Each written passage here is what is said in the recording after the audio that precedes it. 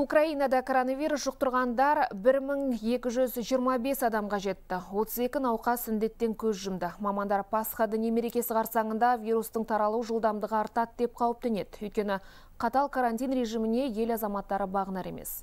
Айда Қыдырбай Киевтен. Бұл Киев қаласының дәл ортасында орын алған Труханов аралы. Орманды саябақта жаяу жүргінші мен велосипедке арналған жол бар.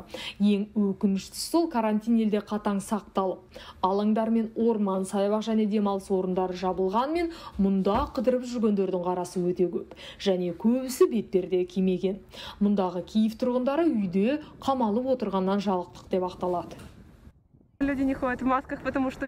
Аурудан қорықпайды сондықтан адамдар маска кимейді. Біз қыдырып емес велосипед теуіп жүрміз ғой. Вот у меня маска с собой есть. менің маскам бар бірақ қалтамда. Көзілдірік пен бетперде ыңғайсыз. Негізі үйде қамалып отырған өте қиын сондықтан далаға шықтық. Азаматтардың мұндай серуеніне қала мэрі Виталий Кличко да қарсылығын танытты. Ол онлайн кезіндегі баспасөз мәжілісінде бос серуен жетер деген сөйлем жазылған бетпердені көпшілік алдында киіп қала тұрғындарына үндеу жолдады. Однозначно ще раз хочу закликати өздеріңізді күтіңіздер үйде қалыңыздар деп сұраймын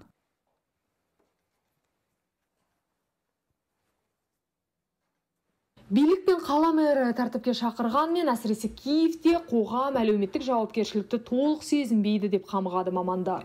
Украина денсаулық сақтау министрлігі 19 наурыз күні тойланатын Пасха мерекесі қарсаңында коронавирус жұқтырғандар саны едәуір артады деп қауіптенеді. Сондықтан Украина үкіметі 6 сәуірден бастап карантин шарттарын одан әрі күшейтуді жоспарлайды.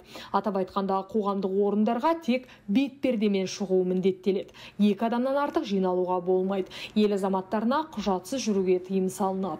14 жасқа толмағандар өз бетінше далаға шығуға болмайды және 6 сәуірден бастап саябақ орман демалыс орындары балалар алаңдарында қыдырып жүрген азаматтар әкімшілік жазаға тартылатын болады. Аида қыдырбай петр бареко хабар 24 украинадан.